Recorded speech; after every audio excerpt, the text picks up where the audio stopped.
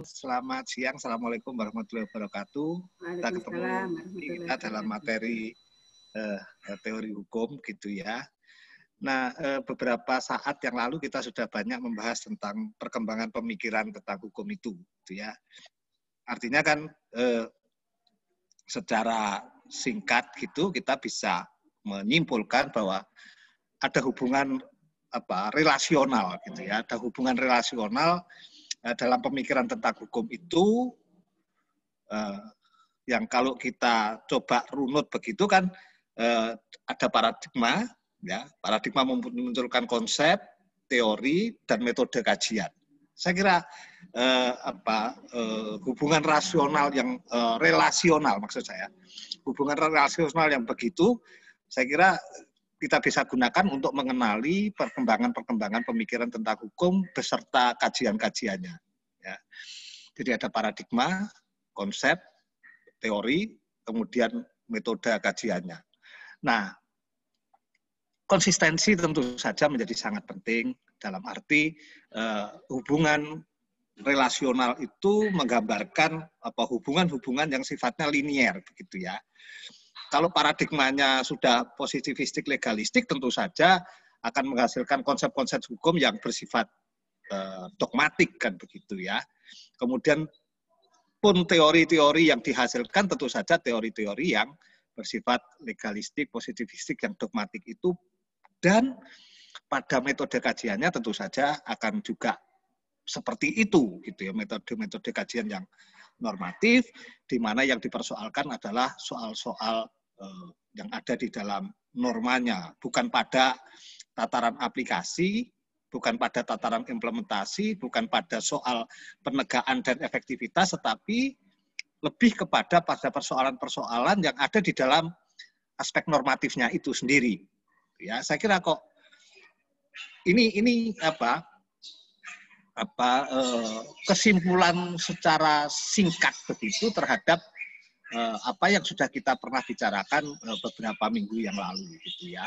Soal substansi tentu saja nanti Pak Rah, Profesor Rahmat eh, Safaat akan bisa menjelaskan lebih dalam dan saya yakin Ibu Bapak juga sudah sangat mempunyai bekal tentang itu bagaimana pemikiran-pemikiran eh, katakanlah legal moralism di awal, kemudian ada legal rasional atau legal positivism, kemudian ada legal scientism, scientism atau legal empirical itu gitu ya. Itu kan paradigma-paradigma yang mainstream yang saya kira kita sudah banyak membicarakan kemarin gitu ya. Tapi cobalah eh, kita coba sekali lagi me, me, apa, menelisik gitu ya Eh, perkembangan-perkembangan tentang pemikiran tentang hukum yang kemarin kita sudah bicarakan itu. Nah, saya carinya. Mudah-mudahan di sini. Oke, ya.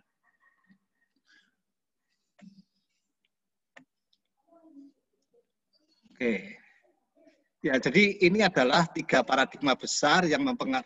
Sebetulnya paradigma ini bukan hanya uh, paradigma di dalam ilmu hukum gitu ya, tetapi juga ini merupakan uh, paradigma besar di dalam ilmu pengetahuan yang ujung-ujungnya juga berimbas pula pada uh, paradigma perkembangan ilmu hukum gitu ya. Jadi awalnya tentu saja Eh, ini dikenali sebagai perkembangan paradigma yang ada di dalam ilmu pengetahuan pada umumnya. Dan setelah kita amati ternyata di dalam pemikiran tentang hukum atau di dalam ilmu hukum itu tampaknya juga mengikuti tren ketiga paradigma besar ini. Yang pertama adalah paradigma moral yang menghasilkan the ideal law, the God's law itu kemudian paradigma rasional atau rasional law itu, dan yang ketiga adalah paradigma saintif, saintisme gitu ya, atau scientific law atau yang kita kenali juga sebagai empirical law itu. Ya. Nah, ternyata eh, ketiga paradigma besar ini sekali lagi juga berpengaruh terhadap eh, perkembangan pemikiran tentang hukum. Namun demikian Ibu Bapak sekalian, ada juga yang tidak membagi menjadi tiga paradigma seperti itu, tetapi hanya dua saja, gitu ya. Uh, itu dua yang terakhir itu kemudian dibagi lagi menjadi dua. Artinya bahwa uh, ada dua paradigma besar sebetulnya kalau di dalam ilmu hukum itu katanya begitu. Yang pertama adalah paradigma moral atau yang teologik itu dan yang kedua paradigma rasional. Hanya dua saja. Sementara paradigma rasional itu dibagi menjadi dua, yaitu paradigma rasional yang positivistik legalistik dan yang kedua adalah rasional yang saintifik yang ini sebetulnya lebih kita kenal sebagai yang empirik itu ya empirik itu. Yang rasional saintifik itu yang kita kenal sebagai empirik itu jadi sekali lagi baik yang positivistik maupun yang empirik itu sebetulnya bersumber paradigma rasional Kalaupun toh itu kita mau membagi hanya menjadi dua paradigma besar saja. Tapi monggo saja kalau ibu bapak juga mengikuti eh, tiga paradigma yang sudah disebutkan tadi, moral, rasional, dan saintisme. Itu ya. Silahkan silahkan saja nggak nggak nggak, nggak jadi masalah lah itu ya. Nah kemarin kita juga eh, sudah menjelaskan eh, beberapa eh, karakteristik yang ada di dalam Eh, paradigma tersebut gitu ya. Dari mulai paradigma moral kita sudah paradigma rasional juga sudah oke okay, gitu ya. Nah ini saya kira kemarin kita sampai di sini ya saya ketilkan saja dulu bentar yang ini saya hilangkan aja lah oke kemudian kita coba digedek kayak gitu nah ini ya Nah ini adalah paradigma rasional gitu ya. Jadi yang yang moral sudah kita tinggalkan kemarin kita sudah sudah kita jelaskan panjang lebar gitu ya. Dan ini pun juga kemarin sebetulnya kita sudah sudah singgung gitu ya. Nah, paradigma rasional dalam ilmu hukum menunjukkan kesamaan dengan paradigma Galilean dalam ilmu sosial. Kalau yang paradigma moral, tentu saja kemarin kita sudah bicarakan itu lebih mendekati pada model cara cara berpikir Aristotelian gitu ya, paradigma Aristotelian gitu ya. Sementara kalau yang rasional adalah ke, ke, ke apa? paradigma Galilean itu dan ini berkembang di dalam ilmu-ilmu sosial yang secara gampang begitu eh, dikenal dengan model paradigma yang mekanistik kausalistik ya. Pokoknya ono iki mesti ono ngono ono ngono mesti ono ngene gitu aja ya. Yang ini positivistik ya katakanlah aplikasinya ya gampang saja. Kalau ada premis mayor ada premis minor maka konklusinya akan seperti itu. Dan itu ajek gitu ya. Ajek gitu ya. Jadi mekanistik begitu. Nah, ono ini yang ono kan. Ono ono yang ini kalau air dicampur garam ya pasti asin kalau dicampur gula ya mesti manis gitu. walaupun kalau kemudian ini diaplikasikan di dalam uh, hukum ya tentu saja tidak tidak se tidak se, se, se mekanistik itu tentu saja ya Bu, Pak, gitu ya. Nah, kadang banyu dicampuri gula, mana ya bisa rada asin-asin titik barang kok hukum itu ya agak-agak agak aneh gitu ya. Tapi inilah secara secara secara garis besarnya seperti itu ya. Ya oke. Dan karakter yang kedua, seluruh kebenaran tentu saja tidak lagi di di, dikembalikan pada kebenaran yang abstrak yang yang sumbernya pada the gods itu gitu ya tetapi sudah kebenaran yang harus dapat disaksikan oleh pengamatan indrawi gitu ya sengketok kui ya yang bisa kita tangkap dengan panca indera itulah yang kita sebut sebagai kebenaran bukan kebenaran-kebenaran dalam eh, pikiran-pikiran uh, yang abstrak yang sumbernya adalah Tuhan yang ada di atas sana itu gitu ya. Nah, ya saya kira kemarin kita juga sudah sampai ke sini. Nah, ini ajalah premis-premisnya untuk paradigma rasional itu bahwa alam semesta itu hakikatnya merupakan himpunan variabel yang jumlahnya tak terhingga yang secara interaktif, hubungan dalam satu proses kecocokan yang terus-menerus tanpa henti sampai kelak tiba titik finalnya. Jadi chaos terus gitu ya. Tetapi eh, sekali lagi sekalipun chaos begitu, tetapi suatu apa pada titik tertentu mereka pasti akan akan eh, ketemu titik finalnya gitu ya. Dan final pun saya kira itu bukan final dalam artian final yang sesungguhnya, tetapi itu adalah terminal-terminal saja gitu ya, yang kemudian bisa saja mereka akan juga uh, ber, berlangsung kembali begitu ya, dan kemudian menjadi chaos lagi dan seterusnya dan seterusnya, gitu ya. Yang kedua, bahwa hubungan kausal antar variabel itu berlangsung secara mekanistik dan dapat direproduksi dan oleh karena itu setiap kejadian atau peristiwa terjadinya dapat diperkirakan dan dapat diramalkan gitu ya. Ya, sekali lagi Bu Bapak, ini menarik kalau semuanya dilihat secara uh, mekanik mekanikal gitu ya, mekanistik gitu ya. ya. Tadi sudah kita jelaskan bahwa ada hubungan-hubungan yang sifatnya mekanistik ya, yang itu serba berkepastian begitu dan oleh karena itu dia bisa direproduksi ya dan kemudian setelah bisa direproduksi maka akan bisa memberikan perakiraan-perakiraan atau ramalan-ramalan apa yang akan terjadi berikutnya ya. Nah ini jadi penguasaan atas ada kausa ada efek ya. Ya, tidak ada uh, sorry, ada kausa dan ada efek. Ya, yang tak kunjung final inilah yang kemudian melahirkan ilmu pengetahuan beserta metodenya untuk dimanipulasi hubungan sebab akibat ke arah ragam-ragamnya yang tidak hanya ilmiah, tetapi juga teknologi. Gitu. Itu katanya Pak Tandio. Gitu ya.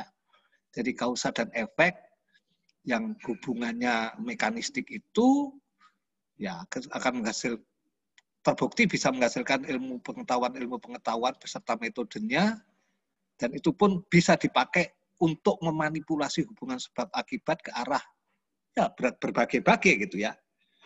Ya.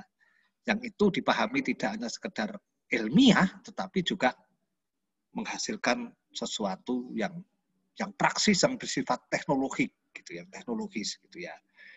Nah, barang-barang yang kita pakai sekarang tentu saja karena temuan-temuan yang seperti ini kausa dan kausa dan efek yang ya di satu pihak itu kemudian melahirkan ilmu pengetahuan dan di lain pihak ilmu pengetahuan itu bisa digunakan untuk memanipulasi hubungan sebab akibat gitu ya dan kemudian menghasilkan teknologi-teknologi yang sangat berguna dan itu kita bisa nikmati sekarang. Nah, yang menarik kalau yang begini juga di, cara berpikir yang begini dipakai untuk menjelaskan tentang hukum gitu ya. Apakah hukum itu exactly seperti itu gitu ya. Tetapi itulah ini adalah sekali lagi eh, paradigma rasional yang kemudian juga memberikan efek terhadap cara-cara berpikir tentang hukum. Ya, yang kemudian akan menghasilkan model-model apa pemikiran yang positivistik legalistik itu yang rasional itu. Nah, Ibu Bapak, kemarin kita juga sudah membicarakan efek dari perkembangan pemikiran paradigmatik di dalam ilmu pengetahuan seperti itu ke dalam pemikiran tentang hukum, ya. Nah, paradigma moral tentu saja konkretisasinya mewujud di dalam pandangan-pandangan atau cara-cara berpikir eh, dalam hukum yang berbasis pada hukum alam itu. Nah, plus eh, cara-cara uh, berpikir cara-cara berpikir dalam hukum yang yang yang yang teologik ya yang berbasis pada agama itu. Nah, ini ini adalah paradigma uh, berikutnya yaitu uh, paradigma rasional yang berimbas di dalam pemikiran tentang hukum. Ya. Ini dimulai sejak masa Renaissance ya, Ya, Ibu Bapak tentu saja sangat paham tentang itu, munculnya di awal-awal abad berapa itu, 16 kali 16, 17 lah ya. Nah, terjadi perubahan orientasi pemikiran tentang hukum yang dulunya sangat berbasis pada moral atau katakanlah agama sentris, kemudian bergeser ke arah manusia sentris, gitu ya, manusia sentris. Hukum tidak lagi dilihat dalam bayang-bayang alam dan agama, tetapi semata-mata sebagai tatanan manusia dengan pengalamannya sebagai manusia duniawiyah, itu ya. Nah, ya tentu saja sekali Ibu Bapak, tentu saja tidak sesetiril itu ya. Ini kan secara garis besar saja kita bisa memilah itu, itu ya. Walaupun toh sebetulnya juga di dalam eh, apa pemikiran-pemikiran rasional juga tetap saja sih kandungan-kandungan moral, kandungan-kandungan agama tetap saja ada sekal, sekalipun warnanya tidak sekental yang sebelumnya. Ya, ya eh, pada masa ini bersamaan dengan lahirnya fenomena negara bangsa, ya, yang kekuasaannya terpisah dari gereja. Gereja sudah mulai ditinggalkan, gitu ya. Nah, selain terjadi sekularisasi, ya, pemisahan lah sekularisasi, gitu ya, antara agama dengan negara, pun demikian ternyata juga terjadi sekularisasi antara agama dengan hukum-hukum yang yang dipakai sebagai tatanan untuk mengatur tertib manusia itu. Sekali lagi mulai ditinggalkan suasana ya hukum yang semula sangat kental warna moral dan agamanya ke arah hukum yang berbasis pada manusia itu ya. Dan itu bisa dilakukan karena manusia memiliki pengalaman-pengalaman hidupnya sendiri yang itu sangat duniawiah gitu ya, sangat duniawiah gitu. Nah, eh. Nah, tadi dikatakan bahwa ada sekuralisasi lah begitu ya. Yang mencoba memisahkan antara hukum dengan agama pun demikian hukum dengan moral begitu ya maka hukum yang dihasilkan tidak lagi mengutamakan kandungan moral, tetapi lebih kepada soal-soal kepastian. Tetapi sekali lagi Ibu Bapak, soal-soal moral nampaknya juga tidak bisa dihilangkan sama sekali gitu. Tetapi bandulnya gitu ya, bandulnya lebih ke arah bagaimana hukum itu diciptakan untuk memberikan kepastian-kepastian gitu ya. Nah, hukum hanya diakui sebagai hukum manakala ia jelas dan tegas. Eh, ada quotes di situ positif gitu ya. Positif sebetulnya ini adalah yang kita juga sering gunakan itu untuk menunjuk, menunjukkan pada wujud-wujud yang ditemui dan dikenali dari pengalaman indrawi. Ya. Istilah ini sebetulnya merupakan istilah Perancis. Ya. Istilah eh, positif itu adalah Perancis, saya ingat betul ini adalah model-model Comte, ya, Auguste, Auguste Comte itu. Sedangkan bagi orang Inggris tidak menggunakan istilah positif, tetapi lebih menggunakan istilah empiris, empirik, gitu ya, empirik, gitu ya, empirik, gitu ya. Nah, hukum dia hanya diakui sebagai hukum manakala ia jelas dan tegas. Positif artinya dipositifikasikan di dalam bentuk perintah apa undang-undang itu. Ya. Jadi positif di sini diartikan sebagai bentuk yang konkret yang dipositifi yang dipositifasikan dalam bentuk peraturan perundang-undangan itu. Nah, dalam konteks seperti itu, dalam cara berpikir seperti itu, maka hukum itu tidak lain adalah perintah penguasa yang berdaulat seperti didatakan oleh Pak Austin itu ya Pak Austin itu yang dia mengatakan positive law ya positive law is the command of the sovereigns ya jadi dia menyebut positive law gitu ya positif di sini sekali lagi adalah ya tidak hanya hukum yang berlaku dalam waktu tertentu dan dalam wilayah negara tertentu tetapi yang dituliskan di dalam bentuk undang-undang itu loh ya, yang bisa diamati juga secara indrawi. Ono ujute apa oh ya undang-undang iku gitu loh. Ya. Eh, jadi Pak Pak Pak Austin mengatakan positive law is command of the sovereign. Hukum itu tidak lain ya, hukum positif itu tidak lain adalah ya ya perintah dari penguasa itu yang sekali lagi orientasinya lebih ke arah bagaimana menciptakan kepastian-kepastian dengan meninggalkan uh, kalau saya mengatakan meninggalkan kok katakan nanti barangkali juga agak agak agak apa ya agak agak diprotes gitu. Barangkali juga agak meminggirkan begitulah aspek-aspek moral. Karena bagaimanapun juga aspek-aspek moral itu tetap saja ada warnanya di dalam hukum. Itu hanya dominasinya lebih ke arah soal-soal kepastian dan itu satu-satunya ya comment of the sovereign itu. Ya. ya bisa saja si comment of the sovereign itu kemudian meninggalkan wilayah-wilayah moral seperti undang-undang yang dibuat kala Hitler berkuasa itu gitu ya ya bisa saja gitu. dan itu juga hukum gitu ya karena pemahamannya ya sepanjang dia dibuat oleh uh, sovereign se apa ya, yang berkuasa ya harus taati sebagai undang-undang sekalipun dia secara moral dia dadat tidak mengandung aspek-aspek keadilan dan seterusnya dan seterusnya itu gitu ya. Ya monggo ibu bapak nanti barangkali bisa mengkaji lebih dalam gitu ya tentang uh, pemahaman paradigma rasional yang mewujud ke dalam Eh, paham-paham yang positivistik seperti ini gitu ya. Antara lain diwakili oleh pendapat si Austin itu tadi. Nah ini ya, konsep hukum sebagai norma perundang-undangan positif sebetulnya tidak bisa dilepaskan dari pengaruh cara berpikir positivistik positifis positivistis ya yang muncul abad ke-19 yang dipelopori oleh Auguste Comte itu ya.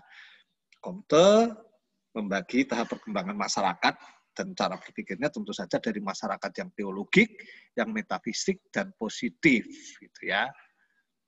Nah, mengikuti perkembangan mutakhir tahapan masyarakat versi Comte tersebut, maka diaplikasikan ke dalam pemikiran tentang hukum, maka hukum hanya ditangkap sebagai aturan-aturan juridis atau bentuk yuridisnya terlepas dari isi materi hukumnya gitu ya. Nah, hukum hanya ditangkap sekedar sebagai fakta empiris, ya. hanya peduli pada segi-segi yang dapat ditangkap oleh panca indera. Oleh karena yang ditangkap oleh panca indera hanyalah kumpulan peraturan, dan aturan itu secara faktual dibuat oleh penguasa yang sah, serta keberlakuannya dapat dipaksakan, maka dalam pandangan kaum positivistik, kaum kaum positivis, hukum tidak lebih dari sekedar kumpulan aturan-aturan formal dari negara. Ini adalah eh, sedikit penjelasannya kenapa kemudian uh, muncul gitu ya istilah-istilah yang uh, paradigma positivistik segala macam itu. Ya inilah sedikit barangkali Ibu Bapak bisa memberikan ya apa jalan masuk untuk kemudian Bapak Ibu eh, mendalami soal-soal yang terkait dengan perkembangan paradigma rasional, pada paradigma positivistis dalam ilmu hukum itu, gitu ya. Oke, nah, Ibu Bapak itu tadi adalah sekedar eh, background latar belakang untuk bisa memberikan eksplanasi tentang bagaimana Eh, aliran-aliran positivistik dalam hukum itu ada dan berkembang gitu ya. Nah, ini adalah para tokohnya sebetulnya yang walaupun singkat-singkat saja sebetulnya saya cari gitu ya. Mudah-mudahan Ibu Bapak nanti juga bisa lebih memperdalam gitu ya. Nah, yang pertama tentu saja Pak Austin ya. Pak Austin ini menjadi tokoh awal bagi perkembangan pemikiran tentang Eh, positivisme hukum. Bu Bapak sudah sangat kenal tentu saja dengan tokoh ini beserta pemikirannya yang secara singkat kita bisa apa tandai. Yang pertama, hukum itu dikonsepsikan tidak lain adalah perintah penguasa. Law is command of the sovereign. Nah, dijelaskan oleh Pak Austin ini bahwa pada kenyataannya terdapat kekuasaan yang memberi perintah-perintah. Dan umumnya orang mentaati perintah tersebut. Jadi tidaklah menjadi soal mengapa orang mentaati perintah tersebut. Karena takut, merasa hormat, atau karena terpaksa, itu tidak penting. Faktanya ada orang mentaati perintah dan jika tidak, maka akan dapat dikenakan sanksi gitu ya. Jadi tidak peduli ketaatannya itu disebabkan oleh apa? Oleh rasa takut, rasa hormat atau dipaksa, tidak peduli. Yang penting di situ ada apa eh, perintah dan perintah itu ditaati dan jika tidak maka akan kena konsekuensinya berupa penerapan sanksi. Nah, dengan begitu menurut Pak Austin untuk disebut hukum itu harus memenuhi beberapa syarat gitu ya. Yang pertama tentu saja adanya penguasa, sovereignty. Kemudian ada perintah, kemudian kewajiban-kewajiban untuk mentaati atau duty itu, dan sanksi bagi yang tidak taat. Nah, ini hanya penegasan saja sebetulnya yang terakhir itu. Bagi Pak Austin, kekuatan mengikat dari hukum itu bukan dari sisi keadilan. Jadi bukan pada isi hukumnya. Tetapi tidak lebih, eh, sorry, tetapi lebih kepada format formalnya saja.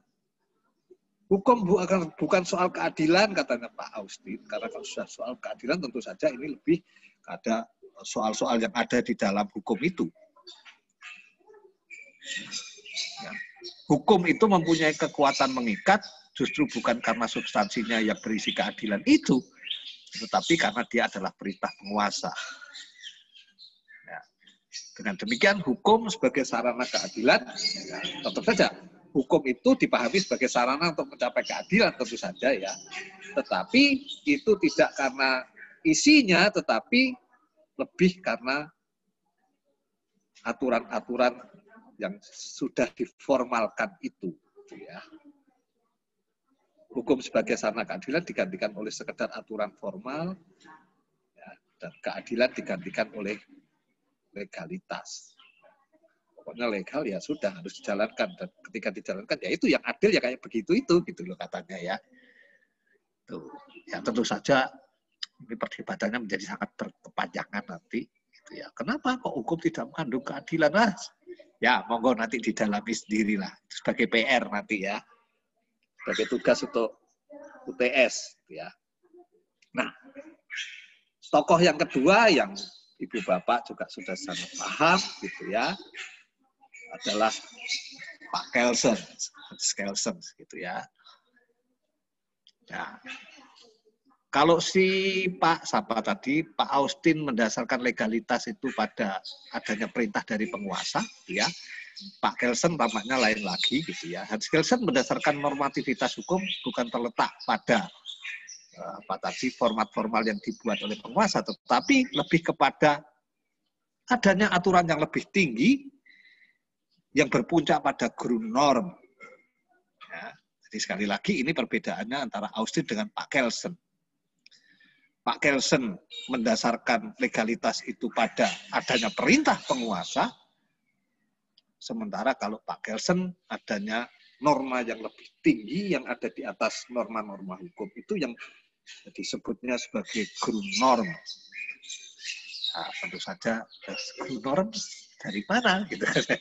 Terus grup norm itu sandarannya apa? Ya tentu saja itu ada sudah menjadi aksiomatis yang dalil-dalil begitu ya, yang sudah kita sepakati bersama. Gitu ya. Nah, bagi Kelsen jika hukum telah menentukan perilaku tertentu, maka setiap orang harus berperilaku sesuai dengan pola yang ditentukan itu. Nah, dia harus. Dan di sinilah letak normativitas dari hukum itu bahwa keharusan dan kewajiban mentaati hukum itu semata-mata karena telah ditentukan demikian ya, secara yuridis formal, bukan karena nilai yang dikandung di dalam hukum itu sendiri. Nah, ini tercetak tebal. Jadi kekuatan mengikat atau normativitas atau legalitas lah katakan begitu, bukan terletak pada nilai yang dikandung di dalam norma itu sendiri, tetapi lebih karena memang sudah ditentukan seperti itu dan orang harus mentaati. Dan kalau dilacak lebih lanjut, loh dari mana sumber bahwa ada keharusan-keharusan seperti itu? Ya tentu saja ini harus dilacak ke belakang sampai kepada norma-norma dasar yang mendasari yang disebut sebagai guru norm itu. Ya, ini pertanyaan-pertanyaan tentu saja yang bisa dikembangkan lebih lanjut. Lalu dari mana sumber dari keharusan dan kewajiban mentaati hukum itu? Ya. Dikatakan semua itu bersumber dari norma dasar atau guru norm. Lalu apa guru norm itu? Menurut Pak Kelsen, guru norm tidak lain adalah sebuah pengandaian. Ya, sebuah pengandaian. Tentu saja ini bukan sesuatu yang konkret tentu saja ya. Dia hanyalah sebuah pengandaian tentang tatanan yang hendak diwujudkan dalam hidup bersama. Dalam hal ini tentu saja negara. Gitu ya. Jadi pengandaian-pengandaian yang ideal bagi sebuah negara itu seperti apa sih gitu ya. Nah, nah lalu apa isi norma dasar itu? Pak Kelsen ternyata tidak memberikan penjelasan. Dia hanya mengatakan bahwa norm merupakan syarat transedental logis. Ya, syarat transedental logis bagi berlakunya seluruh tata hukum. Ya, seluruh tata hukum harus berpedoman secara hierarkial yang berpuncak pada norm itu. Ya, ya tentu saja ini kemudian dikembangkan lebih lanjut kalau dalam teori perundang-undangan yang muncul Nawaski segala macam itu ya. Tetapi begitulah Ibu Bapak sekalian, kita sudah bisa mengenali walaupun sama-sama di dalam kubu positivistik legalistik gitu ya, maka antara Pak Austin dengan Pak Gelsen memiliki perbedaan yang cukup signifikan tentang sumber mengikatnya hukum itu atau legalitas hukum itu berasal dari mana gitu ya. Oke. Nah, Kelsen mengkonstruksi tertib juridis melalui Stephen Bau atau lapisan-lapisan aturan menurut tingkatan aslon ya. Melalui model Stephen Bau inilah kemudian ditentukan jenjang-jenjang perundang-undangan ya. Ya, saya kira Ibu Bapak sudah sangat paham tentang ini gitu ya. Sistem perundang-undangan itu mempunyai struktur piramidal gitu ya. Dari mulai yang abstrak yaitu guru norm itu tadi kalau di kita ya Pancasila itu sampai ke yang konkret seperti undang-undang, PP, dan seterusnya. Saya kira Ibu Bapak sudah sangat paham dan saya kira bisa dilacak sumbernya pada tata urutan perundang-undangan yang ada di Indonesia. Saya lupa nomor berapa itu undang-undangnya ya. Nah, legalitas peraturan perundang-undangan tentu saja harus dapat dilacak kembali melalui logika Stephen Ball dan guru dan lah sebagai batu uji utamanya. Nah, ya. nah, kita sudah mengenali dua ya. Tentu saja masih banyak tokoh-tokoh yang lain gitu ya. Yang antara lain adalah Hart gitu ya. Ibu Bapak saya kira ada buku yang bisa Ibu Bapak baca uh, tulisan selain yang lain-lain ya, tulisan dari Pak Dr. Ali Safaat, Pak dekan kita itu ada dua buku yang dia tulis gitu ya eh, tentang pemikirannya Kelsen dan tentang pemikirannya Hart. Yang satu kalau tidak keliru bukunya yang Kelsen itu biru, yang Hart itu merah gitu ya. Dicetak oleh Konpres gitu ya. Mahkamah Konstitusi yang mencetak, Pak Alfon saya kira bisa dimintai tolong untuk nggak usah belilah minta aja ke Pak Ali. Ya, oke. Okay Berbeda Austin, berbeda Kelsen. Pun demikian berbeda dengan Hart. Ya. Nah, saya hanya meringkaskan beberapa catatan-catatan penting saja dari pikiran-pikirannya Hart yang sekali lagi dia juga termasuk atau tergolong ke dalam salah satu pembawa uh, paham positivistik dalam hukum ya Pak Hart membedakan antara aturan yuridis dengan aturan yang bukan yuridis, sekalipun dua-duanya merupakan aturan, gitu ya. Jadi ada aturan-aturan yuridis dan bukan ada aturan-aturan yang bukan yuridis. Gitu ya. Pak Hart sependapat dengan Austin bahwa hukum adalah perintah yang berkuasa dan perintah penguasa itu harus ditaati. Namun adanya perintah dan perintah itu harus ditaati belumlah membuktikan bahwa itu adalah legal dan oleh karenanya dapat disebut hukum gitu ya. Oke, kita baca sebentar. Ya. Hukum adalah perintah yang berkuasa, yes. Dan perintah itu memang harus ditaati. namun adanya perintah, misalnya perintah dari penguasa, dan perintah itu harus ditaati, belumlah membuktikan bahwa itu adalah legal. Dan oleh karenanya belum dapat disebut sebagai hukum. Nah, menurut Pak Hat, ada syarat kapankah aturan-aturan seperti itu gitu ya dapat disebut hukum. Ya.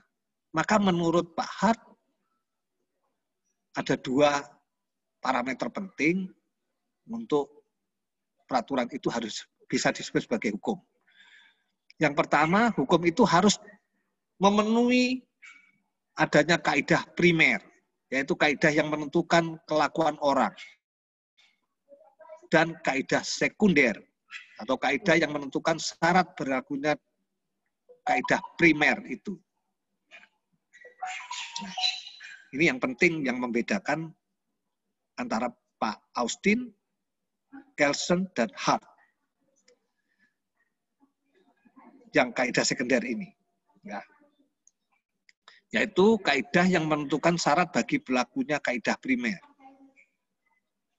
Apa sumbernya?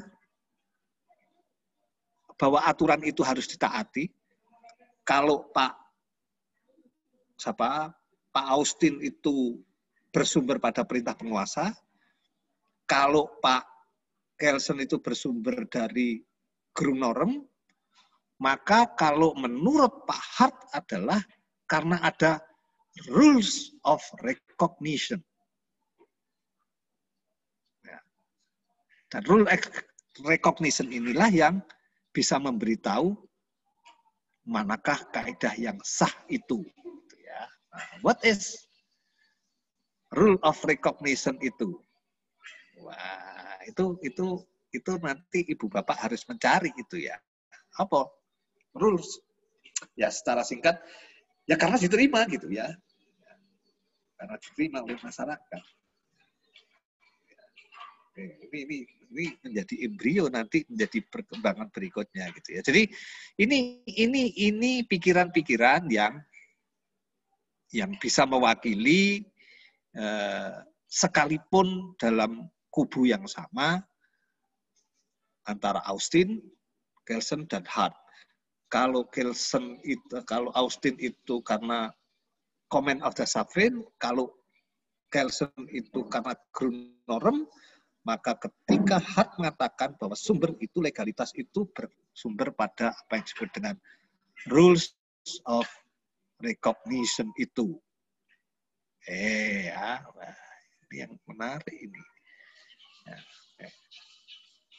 eh, ini jadi itu saja. Jadi yang mewakili mewakili eh, pemikiran-pemikiran uh, rasional gitu ya, uh, paradigma rasional yang positivistik, yang legalistik itu ketiga itu tadi ya. Coba nantilah Bapak mengembangkan sendiri gitu ya, mendalami lebih lanjut bagaimana pikiran-pikiran Austin, pikiran-pikiran uh, Pak Gelsen dan yang relatif lebih baru, lebih muda adalah pikiran-pikiran dari uh, Pak Hart ya. Oke, okay. Oke, saya saya lanjutkan kemudian gitu ya. Nah, pada abad 20 yang belum lama berselang gitu ya, memunculkan pergeseran paradigmatik dari rasional positivistik legalistik ke arah rasional saintifik yang menghasilkan scientific law atau empirical law gitu ya. Jadi sekali lagi Ibu Bapak eh, rasional eh, paradigma rasional itu bukan model paradigma rasional yang positif legalistik di dalam memahami atau me mengkaji tentang hukum dalam berpikiran tentang hukum, tetapi ada pergeseran dari yang positif legalistik itu ke arah rasional yang saintifik. Dua-duanya sebetulnya rasional juga, baik yang legal maupun yang saintifik. Gitu ya. Dua-duanya berbasis pada pikiran-pikiran rasional. Hanya saja gitu ya, yang pertama adalah dari rasional yang positivistik legalistik yang bersumber pada norma-norma yang formal itu ke arah rasional scientific yang menghasilkan scientific law atau empirical law itu ya yang nanti ya. Nah paradigma positivistik yang saintifik yang muncul belakangan di abad-abad ke-20 dan seterusnya itu menggugat kebenaran paradigma yang positivistik legalistik. Ya. Ya, jadi eh, hal-hal uh, yang sudah dipakai dan dipahami dan kemudian diamalkan baik dalam bentuk pikiran-pikirannya Austin yang comment of the sovereign maupun yang Grunorm itu tadi maupun yang hard yang rules of recognition itu tadi ya walaupun sekali lagi menurut saya hard sudah mulai masuk gitu ya ke dalam abad-abad ke-20 yang yang kemudian menjadi embrio eh, lahirnya model-model berpikir yang lebih empirik gitu ya.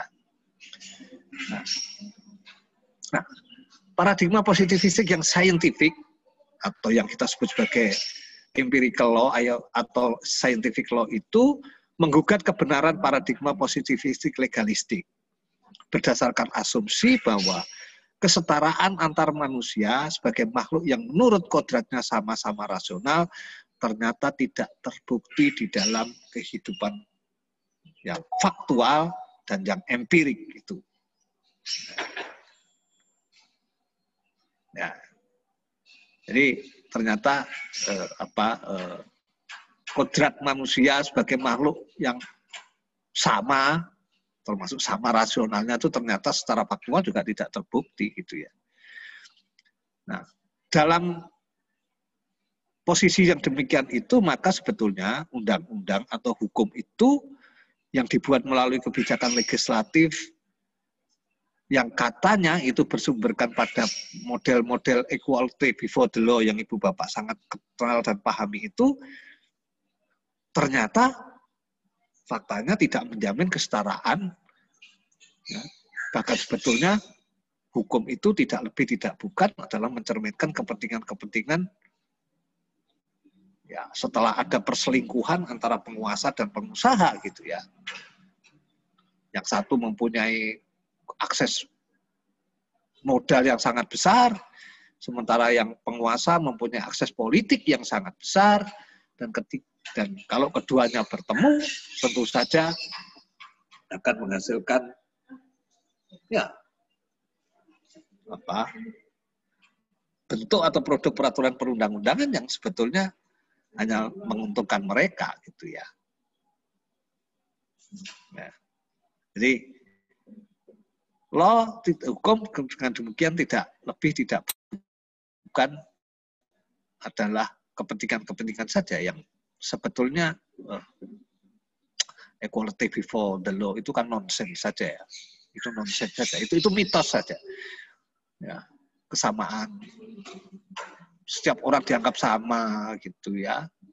Mempunyai kodrat yang sama, memiliki rasionalitas yang sama. Itu itu kan itu itu itu kan itu kan mitos saja sebetulnya. Oke. Akhir abad 20 diawali dengan krisis paradigma legisme murni yang tidak yang terbukti tidak dapat menjamin dan menjalankan fungsi hukum sebagai sarana untuk menata kehidupan masyarakat dan bernegara gitu ya. Jadi awal-awal krisis apa teori-teori positivistik yang legalistik yang legisme itu sudah eh, terjadi di awal-awal abad 20 setelah ada kesadaran bahwa sebetulnya kesetaraan itu sebetulnya kan omong kosong saja dan ketika hukum itu uh, dikatakan untuk memenuhi kebutuhan rakyat itu ternyata juga uh, harus dicari pembuktiannya gitu ya.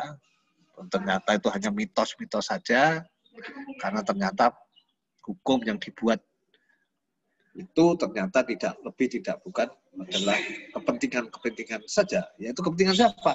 Ya penguasa dan pengusaha yang masih mempunyai eh, kekuatan-kekuatan itu dan kemudian dia berselingkuh tentu saja akan menghasilkan produk peraturan perundang-undangan yang lebih menguntungkan mereka daripada untuk kemaslahatan rakyat banyak itu ya.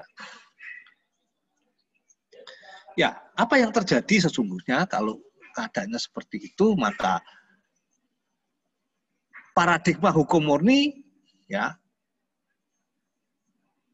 mengharuskan ilmu hukum kemudian ya, ya sorry krisis paradigma hukum murni itu tadi kemudian mengharuskan ilmu hukum yang ada itu untuk kemudian menyapa ilmu-ilmu lain yang bersifat non juridik ya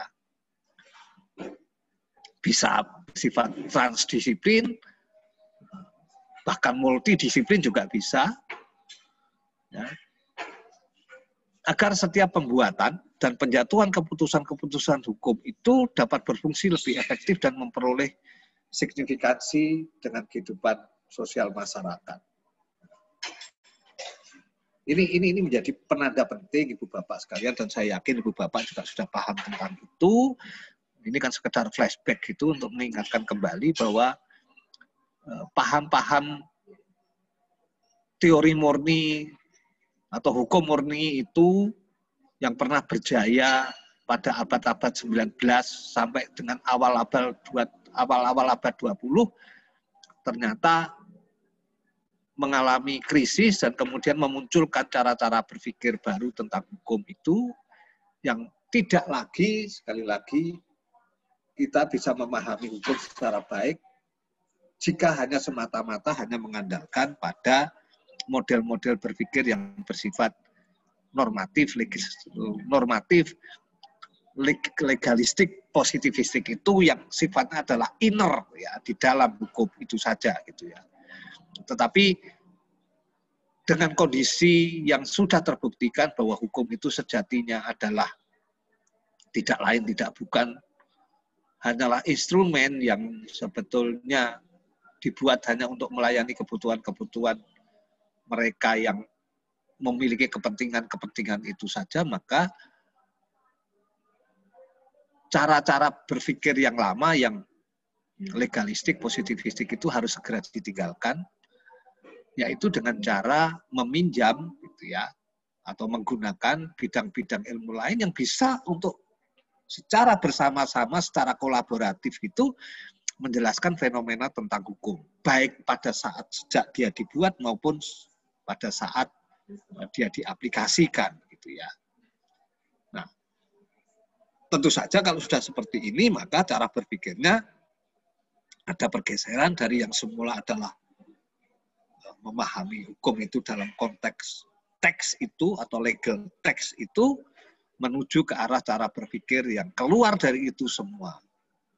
Tidak lagi menjadi tidak lagi hanya legal teks tetapi sudah legal konteks dengan melibatkan sosiopolitikal tentu saja di situ ya kondisi-kondisi uh, sosial yang ada di masyarakat. Ya.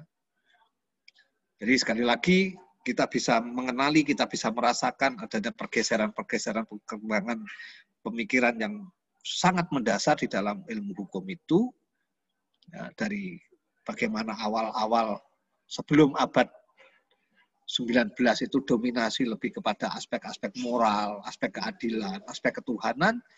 Kemudian abad baru kemudian menimbulkan pergeseran yang lebih rasional, yang lebih bertumpu pada cara-cara berpikir manusia, ya, pengalaman pengalaman indrawi manusia, gitu, yang melahirkan kemudian pada model-model uh, cara berpikir hukum yang sangat legalistik, positivistik dari mulai Pak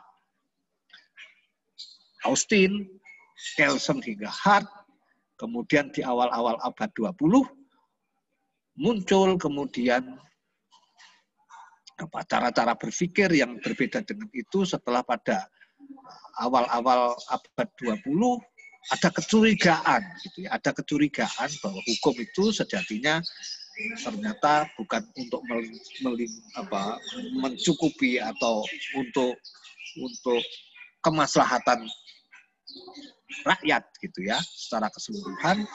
Karena ternyata hukum itu ternyata dibuat tidak lebih tidak bukan hanyalah sekedar apa perwujudan dari kepentingan-kepentingan yang ada di situ saja gitu ya. Baik kepentingan politik kepentingan ekonomi dan seterusnya dan seterusnya itu. Nah, dalam konteks uh, situasi seperti ini tentu saja Ibu Bapak mengkaji hukum hanya dengan berbekal pada studi-studi terhadap teks hukum saja tentu saja tidak akan menghasilkan penjelasan-penjelasan yang memuaskan. Sudah harus ada tambahan-tambahan baru bagaimana kita cara bagaimana kita mempelajari hukum agar kita bisa mengenali hukum secara lebih baik gitu ya. Yaitu dengan cara tidak lagi bertumpu pada teks tetapi sudah pada konteks ya. dengan melibatkan pendekatan-pendekatan yang bersifat transdisipliner maupun multidisipliner gitu ya. Sehingga hukum bisa dikenali wujudnya secara lebih komprehensif lebih lebih lebih utuh begitu ya, tidak lagi bersifat parsial. Ya. Nah kesimpulannya seperti ini. Selama bumi masih berputar, masih terbuka munculnya paradigma-paradigma baru di dalam berhukum guna menjawab tantangan zamannya. Nah, Ibu Bapak tentu saja mempunyai kewajiban untuk mengembangkan paradigma-paradigma baru tersebut gitu ya dan akhirul kata tentu saja ya selamat berburu paradigma. Ya. Itu Ibu Bapak, uh, ya mudah-mudahan bisa apa uh, dipahami dan monggo kalau memang mau didiskusikan gitu ya masih ada waktu gitu ya mudah-mudahan ini bukan penjelasan yang yang tuntas. Gitu. Dan saya yakin dan saya berharap ibu bapak tidak puas dengan ini. Karena tidak puas tentu saja ibu bapak bisa mengkaji lebih jauh tentang perkembangan pemikiran di dalam hukum itu itu tadi ya. Dan ya eh, saya sangat mengapresiasi karena di Brawijaya dicoba untuk dikembangkan model-model berpikir tentang hukum yang lebih komprehensif itu tadi gitu ya. Di awal eh, kita sudah mendapatkan deskripsi tentang materi yang akan diberikan dalam atau materi deskripsi mata kuliah maksud saya ilmu teori hukum itu yang tentu saja sudah tidak lagi semata-mata hanya mengkaji hukum dalam perspektif yang positif legalistik itu tetapi sudah mencoba mengembangkan model-model pengkajian hukum yang bersifat transdisipliner, eh, interdisipliner maupun transdisipliner dan multidisipliner yang pada ujungnya sekali lagi juga ada semacam tagihan begitu untuk kemudian kita bisa ya menghasilkan cara-cara berpikir atau model-model berpikir yang menghasilkan teori-teori hukum yang yang mempunyai karakter keindonesiaan begitu loh ya. ya. Itu.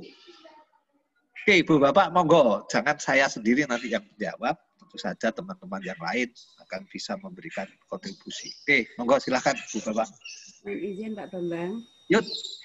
Ya, terima kasih teman-teman. Saya mau menanyakan sesuatu terkait dengan uh, paradigma ini. Jadi yang saya pahami bahwa paradigma itu akan eh paradigma itu menjadi sebuah uh, dasar terbentuknya sebuah teori. Lalu uh, saya tadi kan mengikuti kuliah dengan Diki ada sebuah catatan begini, Bapak Ibu silahkan jangan hanya mengikuti paradigma yang selaras dengan dengan tulisan Bapak Ibu, sebaiknya malah uh, silakan cari yang mungkin sedikit kontroversi sehingga nanti akan mhm. melahirkan sebuah uh, teori baru begitu. Pertanyaan saya Pak Bambang, kalau misalnya saja misalnya ya, saya akan mengambil sebuah teori yang sedikit keluar dari jalur dari apa yang nanti akan saya kembangkan sehingga nanti akan melahirkan sesuatu yang baru. Atau anda saja mungkin jika bakal lahirnya sebuah uh, teori itu. Kalau misalnya seperti itu, apakah saya harus uh, melihat dulu paradigma yang ada dalam sebuah uh, kehidupan dulu, misalnya kalau kaitannya dengan pengelolaan sumber daya air, apakah saya harus melihat dulu paradigma yang ada di Indonesia sehingga nanti saya bisa menggali, bisa membuat sebuah semacam formula terkait dengan uh, teori itu, Pak. Itu aja dari saya. Terima kasih. Ya, terima kasih, Bu. Saya kira sangat bergembira saya kalau Ibu kemudian bisa memunculkan cara pandang baru Eh, cara berpikir baru yang bisa menghasilkan uh, apa katakanlah cara berpikir atau cara berpikir tentang hukum yang baru terutama konteksnya adalah konteks keindonesiaan gitu ya kemarin kan ada juga yang dari kediri itu bu yang masih apa itu yang katanya juga ingin ya ingin ingin mod, mengembangkan model-model pemikiran Jawa katakanlah iya, model-model iya. Jayabaya apakah itu juga kemudian bisa juga dipakai untuk kemudian memberikan eksplanasi tentang hukum. Saya kira kok kita masih sangat terbuka ya Bu ya. Hanya saya kira karena memang kita sekarang itu kan didominasi gitu ya, didominasi oleh cara-cara berpikir yang yang rasional itu loh ya. Pokoknya yang bau-baunya tidak rasional minggirlah, lewat. Itu zamannya udah zaman dulu gitu loh ya. Zaman dulu ya yang rasional rasional pun juga kemudian dibatalkan rasional saja tok ya nggak cukup harus yang empirical proven gitu kan ya, yang harus terbukti secara empiris gitu ya itu saya kira tadi dikatakan bahwa tidak ada lah paradigma yang yang kemudian apa uh, apa establish terus kan nggak ada nah, di situ pasti ada chaos gitu ya yang kemudian bisa mening- ada anomi-anomi begitu yang kemudian bisa memunculkan paradigma-paradigma baru gitu ya. Ya soal kemudian ibu menyinggung background bahwa dulu pernah ada paradigma seperti ini, seperti ini, seperti ini, oke okay, gitu ya. Dan ibu menganggap bahwa itu ada kekurangan-kekurangan terhadap paradigma itu selain ada kelebihan-kelebihan dan tentu saja ibu akan mengisi pada sisi-sisi kekurangannya kan untuk bisa memberikan eksplanasi yang katakanlah menurut ibu jauh lebih baik tentang fenomena yang ada sekarang. Saya kira kok oke okay, gitu ya. Saya senang kalau ibu bisa mengembangkan dan itu justru yang dituntut gitu ya. Ada paradigma baru yang dihasilkan oleh para dokter. Gitu. Berarti harus masih dalam sepemikiran uh, istilahnya paradigma yang berkembang ya Pak. Misalnya kalau sekarang pakemnya tiga itu gitu ya, pakemnya tiga itu. Oh, jadi sekarang karena rasional sehingga rasionalistik masih menjadi sebuah uh, sesuatu yang sekarang menjadi mungkin yang terdepan. Apakah itu yang harus kita ikuti? Atau mungkin kita bisa keluar sedikit dari itu paradigma itu? Ya saya kira bisa keluar lah Bu. Ini ini kan sebetulnya itu kan kesepakatan-kesepakatan saja bahwa ada moral, ada rasional, ya kemudian ada yang yang empirik itu itu itu kan itu kan orang menyepakati itu. Siapa tahu kemudian ada ada kelanjutan-kelanjutan yang keluar dari pakem yang itu tiga itu tadi. Bisa saja kan, bisa ada masalah. Dan kalaupun itu kemudian dipahami atau bukan dipahami, disepakati oleh komunitas tertentu bahwa itu juga betul ya, itu ada pergeseran paradigmatik tentu saja. Wong paradigma itu pada dasarnya kan cara pandang yang diamini oleh sekelompok orang tertentu bahwa itu adalah kebenaran dalam tanda petik gitu ya. Kalau kemudian muncul paradigma-paradigma baru yang mematahkan itu ya oke, okay, kenapa tidak? Ayo moga yang dari Kediri katanya mau mengembangkan teorinya Pak Joko Joyoboyo itu. Siapa Mas apa ya? Ya, monggo Mas Gatot. Halo Mas. Rahayu Mas Kata. Halo. Nah ini. Rahayu. Apa ini? Mengembangkan pikiran-pikirannya Joyoboyo. Siapa tahu loh. Itu kemudian bisa. Itu kok itu ada Pak Bambang yang kita ya. merumuskan. Pemikiran tuh saya kemarin tugas yang itu para paradigma nasional saya gabungkan dengan tiga tiga filosofi tiga filosofi Jawa. Itu bahasanya kalau saya bahasa Indonesia kan itu kenali dirimu akan tahu pribadimu. Jalankan langkahmu akan tahu kehidupanmu. Mengertilah jati dirimu akan tahu kesuksesanmu nah itu kalau kita uraikan yang pertama untuk mengenal diri itu sebenarnya hanya sederhana untuk menuju kepada tatanan kesempurnaan secara lahir dan batin itu adalah tugas yang diberikan dari peradaban sebelumnya pada peradaban yang akan datang. Hmm. Itu tidak bisa terlepas. Itu secara filsafat Jawa itu sama halnya antara yang dimanitis sama yang dimanitisi. itu kalau saya berikan pendekatan lagi, itu ada tiga hal, yaitu waskito, Odo, waskito, gitu, sama wicaksono, sama kasunyatan. Ya. Jadi yang diharapkan ini bahwa waskito itu memahami apa yang sebelum terjadi ngerti sak jeruni winara. Kalau Wicaksono itu adalah kebijaksana dan satrio. Nah, kembali lagi, semua yang dikerjakan itu akan bakal menjadi kenyataan. Kenyataannya Pak, kenyataan sesuai paradigma nasional akan merubah kekuatan-kekuatan baik doa maupun usaha akan merubah yang ada sebelumnya tidak ada menjadi ada. Termasuk apa jalannya? Kodrat dan irodat. Mohon maaf Pak Bambang, begitu Abang. Ya, monggo ya, ya. Ya, misalnya aku jadi promotornya ya bingung dewi iki aku ya. Piye ingin kita ya. Tapi oke okay lah, Mas. Oke okay lah ya. Jadi tapi sekali lagi tentu saja eh, kita menggunakan paradigma-paradigma seperti tadi dalam konteks cara berpikir kita tentang bagaimana kita berhukum gitu ya. Ya ya lah monggo-monggo saja kalau memang mau dikembangkan itu sebagai salah satu apa eh, model berpikir yang bisa memberikan sekali lagi teori hukum itu kan ingin memberikan eksplanasi gitu ya penjelasan tentang hukum itu. Tentu saja eksplanasinya tentu saja tidak hanya sekedar bagaimana hukum itu dibuat dan hukum itu ada sekarang tetapi bagaimana juga ibu bapak nanti akan bisa memberikan kontribusi pemikiran bagaimana hukum yang ideal itu Itu menjadi nah, penting. Nah, itu Pak Bambang. Pak Bambang, ya. itu menujunya. Ya, mohon maaf. Itu menujunya nanti, menuju langkah kalau secara teori akademisi, baik secara portfolio atau terkait dengan kurikulum, itu akan dibuatkan secara peradaban, sekolah peradaban. Artinya menujunya kepada hanggayuh kasampurnani urip berbudi bawa leksono ngudi sejati ini becik. Bisa itu. Ya, ya, ya, ya, ya, ya, ya, ya itulah ya. Ye. Ya, hukum itu kan sebetulnya sejatinya seperti itu. Gitu ya. Idealnya memang seperti itu, walaupun faktualnya memang tentu saja seperti tadi banyak kita omongkan ya. Selagi hukum itu dibuat oleh manusia,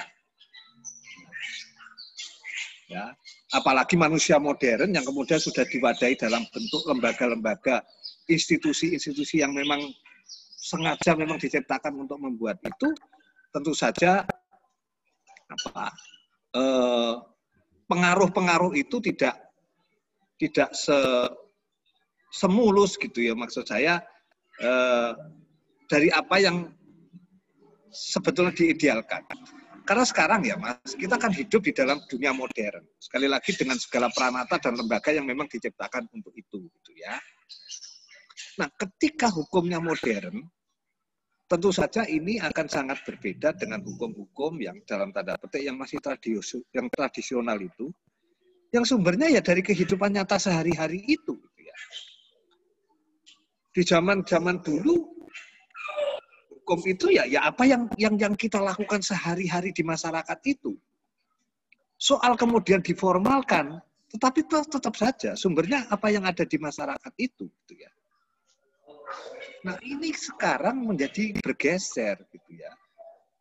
Ketika hukumnya modern, maka hukum yang ada sekarang itu sifatnya sudah buatan, sudah artifisial, sudah tidak lagi berbasis pada kenyataan-kenyataan yang yang ajek itu yang kemudian kita institusionalisasikan kalau dalam bahasanya Pak Malinowski kalau tidak keliru menjadi hukum yang kemudian menjadi legal tertulis itu. Hukum kita sekarang kan tidak seperti itu. Justru sebagian besar hukum kita itu adalah hukum-hukum yang dibuat. Yang sudah jauh dari kehidupan-kehidupan nyata di dalam masyarakat. Ya. Bukan lagi reh tetapi sudah wet gitu ya. Sudah sudah dibuat gitu. undang-undang itu kan dibuat. Ya ada saja sih sebagian yang bersumber dari kenyataan-kenyataan di dalam masyarakat kemudian dibungkus dilegalitaskan dalam bentuk peraturan perundang-undangan ya ada. Tetapi siapa bilang hanya itu? Tidak. Bahkan sebagian besar undang-undang atau hukum yang kita miliki sekarang yang disebut sebagai hukum modern itu justru sebagian besar adalah hukum-hukum yang memang sengaja dibuat gitu ya. Sudah tidak lagi genuine katanya, tetapi sudah artificial. Nah kalau sudah seperti itu maka jarak yang membentang soal keadilan itu akan semakin lebar. Nah, persoalannya kan kemudian bagaimana kita mengembalikan jurang yang lebih lebar itu kemudian untuk tetap di dalam atau paling tidak mendekati pada suasana yang tetap dalam harapan-harapan masyarakat, dalam keadilan-keadilan yang kita kehendaki gitu ya. Itu persoalannya gitu ya. Ya apalagi kalau konsepnya kemudian yang modern itu kan sudah tidak lagi law is tool of social control ya. Kalau social control itu kan artinya apa yang ada di masyarakat yang sudah dipahami, tidak boleh begini, tidak boleh begitu, yang itu sudah dilakukan secara ajak, yang itu kemudian dilagi, di, di, dibuatkan aturan dan dilegalisasi dalam bentuk peraturan perundang-undangan. Kalau itu oke okay lah. Tetapi kalau law itu juga tidak dipahami, tidak hanya sekedar dipahami sebagai social control, tetapi sudah social engineering, social empowering, Ya. Apalagi social emancipation misalnya. Saya kira hukum itu sudah dibuat kalau sudah seperti ini. Dan tentu saja kalau engineering misalnya, itu sifatnya masih sudah top down, bukan bottom up. Nah ketika sudah top down, maka yang membuat yang di atas itu loh. Yang kemudian kita bisa mempertanyakan, apakah betul mereka mewakili atau memperjuangkan kepentingan yang di bawah? Ternyata kan dia omong kosong. Mereka justru memperjuangkan kepentingan-kepentingan mereka sendiri. Gitu. Dan kita rakyat supaya mengikuti itu saja. Saya kira baiklah ini cara berpikir begini untuk kita kemudian mengkaji undang-undang yang baru kemarin disahkan itu undang-undang cipta kerja itu. Apakah sejatinya undang-undang cipta kerja itu betul ingin memperjuangkan kepentingan masyarakat banyak, ataukah sebetulnya dia hanya representasi kehendak dari para pemilik modal, para investor, para mereka yang berkuasa. Ya tentu saja barangkali oposisinya tidak biner begitu ya. Atau itu merupakan jalan tengah yang bersifat kompromistis gitu ya. Antara kepentingan penguasa, pengusaha di satu pihak dan itu menjadi keharusan juga tapi di pihak lain juga ada kepentingan masyarakat juga yang harus dilindungi, maka akan dicari kompromi-kompromi di situ. Kalau yang begini sih saya kira masih oke okay, gitu ya. Tapi kalau hanya semata-mata mempertahankan, memperjuangkan kepentingan pengusaha, penguasa, ya itu itu, itu persoalan. Nah, sekali lagi yang hendak saya katakan bahwa di dalam hidup, sorry, dalam hukum yang modern itu jarak keadilan itu sudah semakin lebar karena hukum yang ada itu bukan hukum yang genuine tetapi sudah hukum yang dibuat untuk memenuhi kebutuhan-kebutuhan rekayasa, untuk memenuhi kebutuhan-kebutuhan penguatan, empower gitu. Atau menciptakan emansipasi atau kesederajatan-kesederajatan itu. Tapi sekali lagi kalau itu diartikan secara positif, tapi kalau diartikan secara negatif, ya tidak tahu lagi. Dan ternyata hukum bisa didaya gunakan untuk itu. Hukum tidak lain, tidak bukan juga merupakan sarana teknologi saja. Oke. Cukup Ibu Bapak? Halo. Pertanyaan saya sudah Halo, Pak Bambang. Halo. Cukup, ya? Saya punya pertanyaan saya sudah terjawab. Mungkin teman-teman yang lain ada yang mau ditanyakan gitu. Saya kira kok ini ini pelajaran yang umum saja. Saya itu kan hanya mengajak, mengingatkan ibu bapak untuk berdiskusi saja. Atau sebetulnya saya yakin yang begini ibu bapak sudah sangat paham lah. Uh, Pak Bambang ngapunten nanti materinya bisa dikirim ke WA saya biar nanti saya share ke kelas ke grup. Oke, gitu. Nah, Terus sekarang bicara soal tugas. Iya, monggo. Bagaimanapun juga kan saya harus memberikan tugas untuk kebutuhan Pak uh, UTS. UTS gitu ya. ya. Soal nanti ya UAS itu Prof Rahmat. Tapi sebetulnya sebetulnya masih ada satu slide yang kurang. Tapi oke, okay, nanti nanti bisa disambung oleh Pak Rahmat Safaat, Prof. Rahmat Safaat. Tadi di awal ya, saya sedikit mengulang saja. Ada ada relasi antara paradigma konsep teori dan metode kajiannya. Nah, itu sebetulnya bisa dibuat dalam bentuk matriks begitu, satu satu matriks gitu, yang sebetulnya kita bisa memahami pemikiran tentang hukum itu secara lebih gampang secara lebih lebih cepat gitu ya. Tapi di slide saya ada, ya, saya tidak bisa menjelaskan karena memang masih membutuhkan waktu. Mudah-mudahan nanti Prof. Rahmat yang akan bisa menjelaskan itu, gitu ya. Tapi nanti bisalah kita sertakan sekalian Bu untuk untuk ibu bapak kopi gitu ya. Matriksnya satu lembar saja kok, satu lembar saja. Oke, tugasnya apa ya? Tugasnya apa ya? Eh, Bikin makalah gitu ya? Pak Bambang Apunten, dulu Pak ya. Bambang ya. awal perkuliahan uh, sudah memberikan semacam ancang-ancang untuk tugas kelas B ini. Uh, ini saya ya, jadi begini, uh, karena kita ada belajar tentang tiga paradigma sehingga kelas dibagi dalam tiga kluster okay. kluster itu.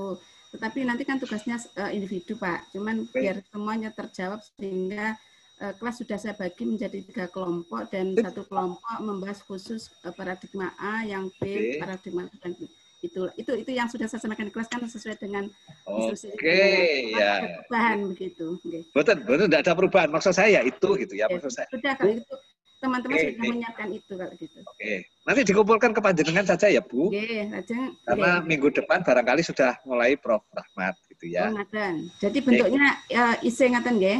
Isi saja lah. Nggih.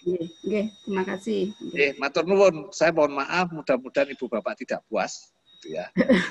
Saya kita pembelajar itu nggak pernah ada puasnya. Okay. Dan kita terbuka untuk apa menciptakan ruang-ruang diskusi di mana saja gitu ya mau ketemu di garasi kayak di parkiran kayak di jalan atau ke rumah semoga moga saja kalau saya karena memang masa pandemi gini ya memang agak agak merepotkan kita nggak bisa ketemu tatap muka ya. Hmm. tapi oke okay lah. Monggo kalau masih ada ibu bapak yang ingin mendiskusikan tentu saja juga tidak terbatas pada soal-soal yang terkait dengan materi teori hukum. Barangkali kita bisa diskusikan yang lain. Tema-tema penyusunan disertasi barangkali oke okay, monggo. Saya terbuka saja lah. Panjang apa saya bisa bantu saya akan bantu Terima kasih Pak Bambang. Eh, matur nuwun nggih, Mas, Mbak. Sampai dulu. Nggih. Assalamualaikum. Terima kasih Pak Bambang. Terima kasih Pak Bambang. Yuk.